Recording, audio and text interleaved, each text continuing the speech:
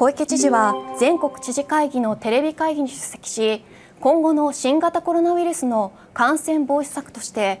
空港や港の検疫体制などいわゆる水際対策の強化を協力して国に求めていくことを呼びかけました。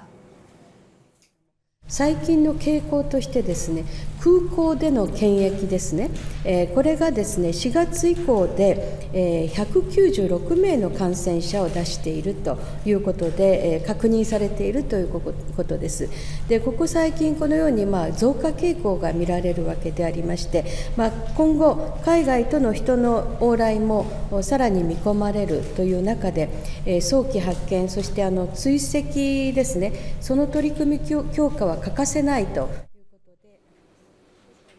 小池知事はこのように述べ知事会として国に対し空港や港における検疫体制や入国する人への検査体制の強化を求めていくよう呼びかけました。